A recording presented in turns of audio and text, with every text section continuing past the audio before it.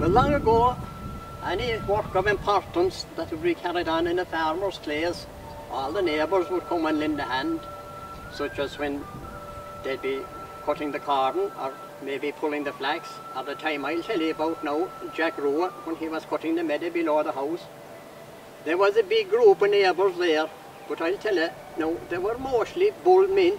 That was to say, there were men that brought cows to the bull earlier that year and they were paying back the comhar that way. Now, of course, that time it was with scythes they used to cut the meadow and swinging a scythe was thirsty work. But they'd bring out a earthenware jug of milk and water and they might put it under a sop of new mown hay or slip it into a gully to keep it cool, but it wouldn't last too long. But they were lucky for they weren't too far away from a pub, only a couple of fields across the ground. But it worried Jack who he sent for the pub, who he sent to the porter for the pub. So he looked down along the line anyway, and he decided he'd send the last man on the line. Dinny the Dido was his name. He'd be the last missed out the field. Now, Dinny wasn't a neighbour at all. He was a travelling man that did a day's work anywhere he got it. To give you an instance now, he could turn his hand at anything. For the week before, he was housekeeping for the woman up the road when she was in town selling the eggs and butter.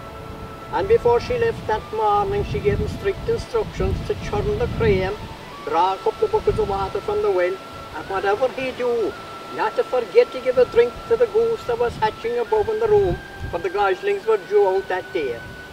So the first thing he started at anyway was churning the cream. Was one of them end over end churns they had, you know, where you pour the cream in one end of it, you put on the cover and you twist the handle.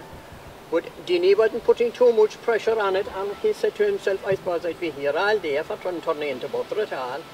But he got an idea, he went out to the carrows and he took the reins out of the donkey winkers and he made a loop out of each end of it and he stuck his leg into each loop. And then he made another loop in the centre, took the churning barrel off the frame, put it into the loop in the centre and threw it back over his shoulders and got the two buckets and sure as he walked down to the well for the water, he was able to churn the cream at the same time. What one would think of that? But when he landed at the well, you know, the well wasn't one level with the ground, and when he stooped down to take out the bucket of water, the cover fell off the churning barrel and the cream spilled out and down his neck. Lord, he was destroyed. When he came up, and he threw off every stitch that was on him, and he rolled himself in the haggard. Now we all know the clammy substance cream is, all the grass in the haggard clung to him.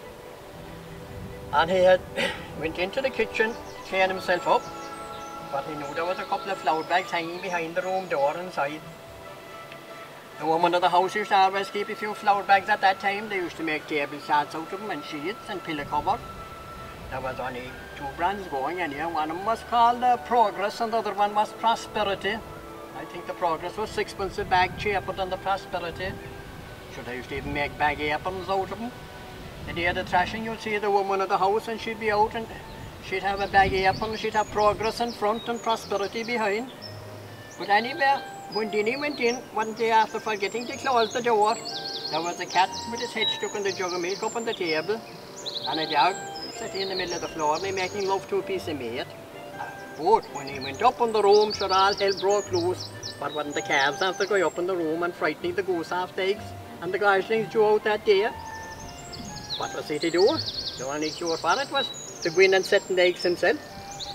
So, like the old woman long ago said, God never closed one door but he shut another one. For the cream helped to reduce the friction as he lowered himself down into the tea chest where the goose was hatching. Nice and easy so as not to break the eggs.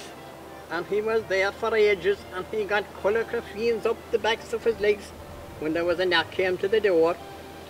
Who was there on a Malfield? She lived in a cottage outside the end of the lane. She was get a drop of milk there for the colouring.